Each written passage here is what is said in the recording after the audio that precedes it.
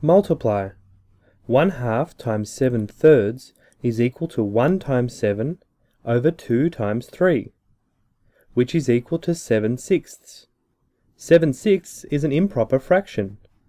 We can express this as the mixed number 1 and 1 sixth. So 1 half times 7 thirds is equal to 1 and 1 sixth. Multiply. 2 thirds times 9 quarters equals 2 times 9 over 3 times 4, which equals 18 twelfths. 18 twelfths is an improper fraction, which we can express as the mixed number 1 and 6 twelfths. 6 twelfths can be simplified to 1 half. So 2 thirds times 9 quarters is equal to 1 and a half. Multiply.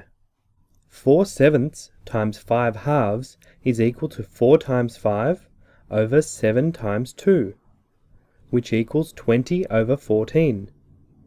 We can express this as the mixed number 1 and 6 fourteenths. 6 fourteenths can be further simplified to 3 sevenths. So 4 sevenths times 5 halves is equal to 1 and 3 sevenths.